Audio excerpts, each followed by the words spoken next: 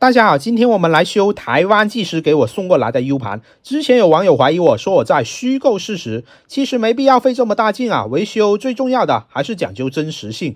虽然我的视频上有一些搞笑的成分，但真的没必要做半点虚构啊。我感觉拍视频最烧脑的地方，还是要怎么给大家找到笑点。盘从哪里来，我就说哪里嘛。毕竟我也是有正规报关纳税的。正面咱们就不看了，就是非常普通的挂号邮件。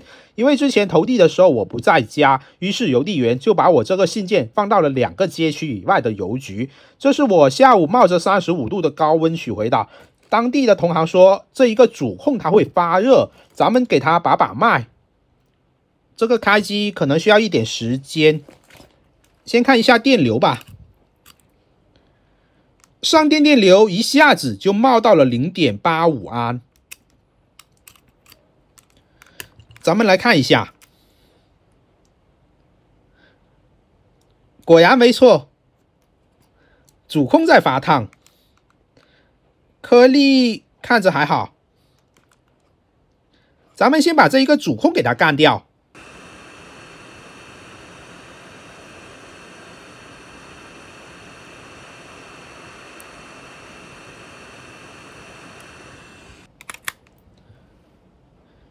现在上电已经不会大短路了。刚才这一个主控，它是一下子就冒到了一百多度。这是一个三 S 的六幺三七主控，金士顿的御用主控，正品没错了。恰好我前两天这边就恢复了一个同款调固件的金士顿，它的料板还在我这里啊。这个主控肯定是包好的，咱们把这一个主控盖上来，看看能不能轻松捡个漏。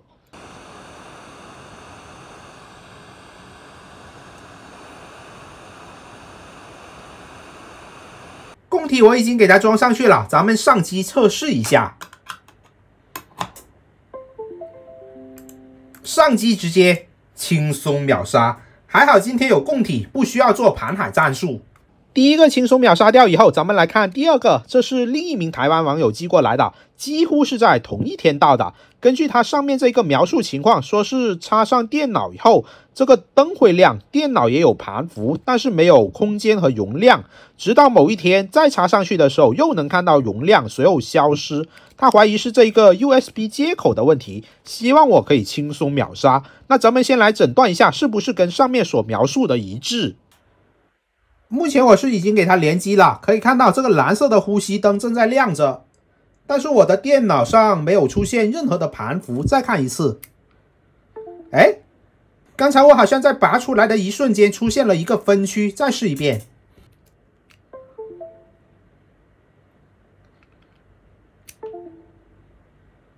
又没有了。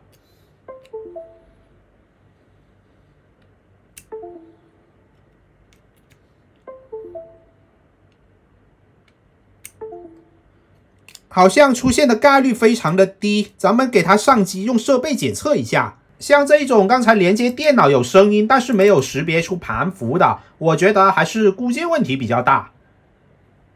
我们现在访问一下，可以看到这里识别出来的容量是零兆的，再重新通电，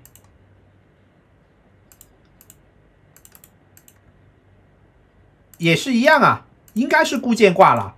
现在我们给它拆出来做一下检测，应该沿这一个缝隙这里切开就行了，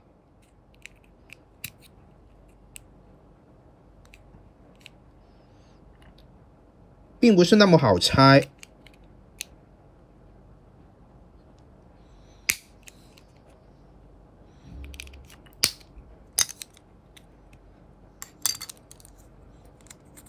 这一个就是它的本体。再让我拆一下，主板这边我已经给它拆出来了，看着还是挺好的。另外接口这边的连接也非常的紧密，暂时没有看到脱焊的迹象。上面这里还有一层焊油，我估计对方也是自己尝试加焊过的，所以接口故障这一个结论自然是不成立了。刚才我又向对方求证了一下，问他这一个 U 盘是不是有很长一段时间没有使用了？对方给出的答复是确实有几年没有用过了，所以它这一块盘就是一个典型的漏电盘。什么是漏电呢？写到闪存里面的数据主要还是依靠电子进行存储的，主控再去识别里面的电位状态，把这些零和一的二进制转化为我们可以读得懂的数据。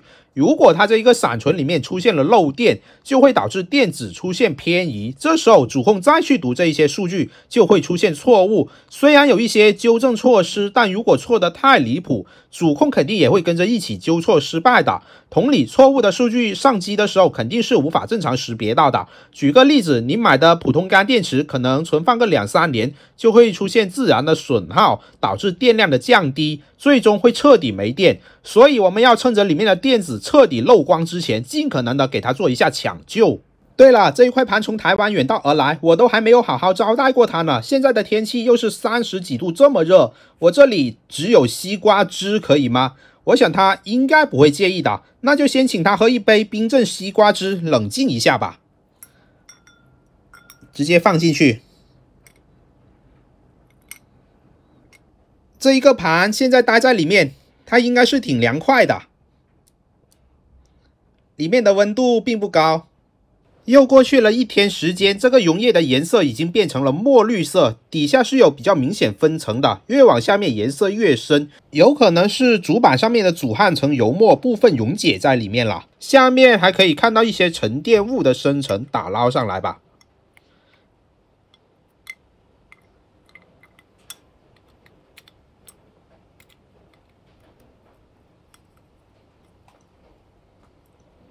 还行，本体还在，再请他洗个澡。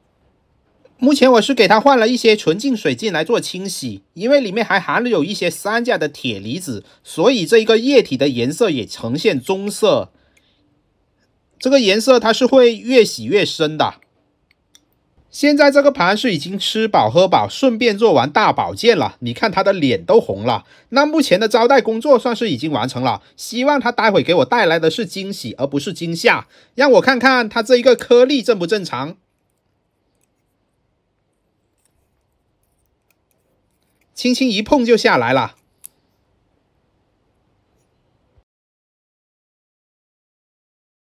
芯片我现在给它连接好了，让我访问一下它里面的资料正不正常。电压调个三点三伏，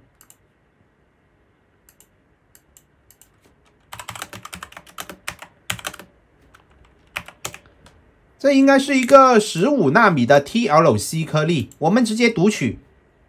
在经历了漫长的一个小时等待以后，现在芯片的内容倒是读完了，而且我也对它进行了 ECC 修复。前面一段还算是不错的，基本上都能绿。可是当我拉到它下半身的时候，可以看到它已经变得红肿不堪了。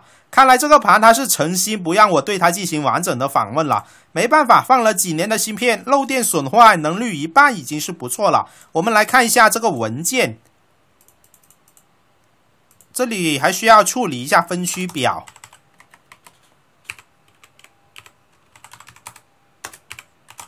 搜索一下，把这一个地址填上去。这是一个 FAT 三十二的分区。